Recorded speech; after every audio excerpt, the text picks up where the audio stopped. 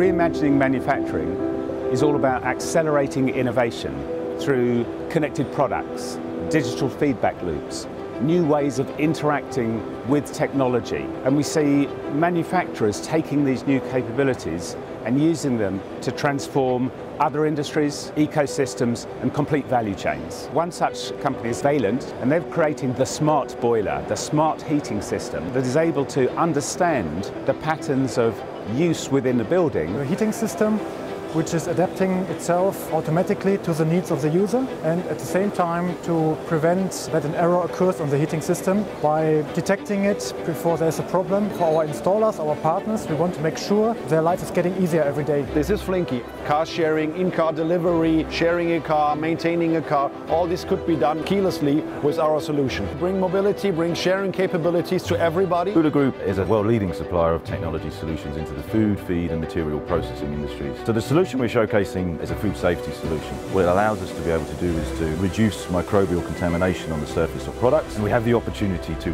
reimagine one of the world's oldest industries. Digitalisation, IoT, artificial intelligence. How can we do things in a better way to preserve retain and even develop the natural resources of our planet. We have a program in Microsoft called AI for Good. We have a project called FarmBeats we work with farms to get connectivity and we can then give them data-driven insights. The farmer can make precise decisions on how to use their resources in the best possible way. Reimagining manufacturing is about more than technology. It's transitioning from focusing on best products to focusing on best customer and social outcomes.